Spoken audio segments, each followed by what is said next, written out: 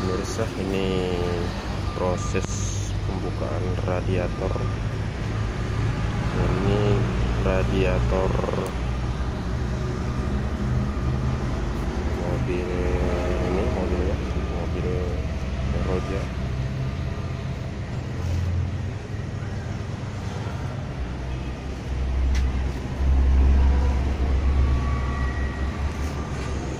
Nah, yang ini pemirsa ini harus kita buang kita buang dulu seluruh